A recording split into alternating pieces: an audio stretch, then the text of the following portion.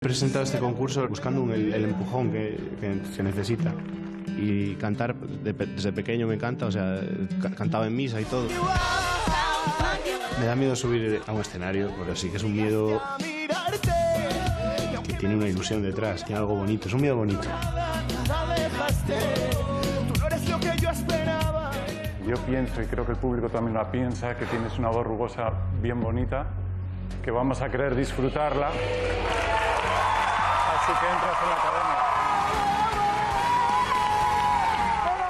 Momentos que encuentre felices dentro de la academia ha sido el, el hecho de trabajar con Aitana. Hubo como una conexión y, y a mí me pareció bastante mágico. No puedo vivir, no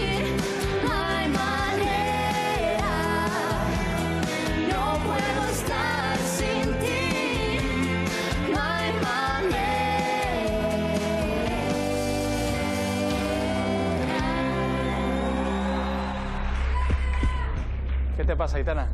No me gusta que vuelva a estar nominado. Y Roy, que me llevo de puta madre con él. Y Magalí, porque estaba apagado físicamente y ha sido como que despiertas, ¿no? De, de un letargo.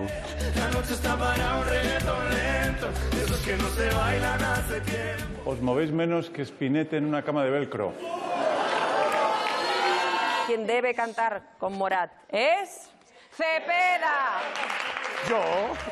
Y aunque muera en el intento, vamos a escribirlo mejor. Yo contigo, tú conmigo.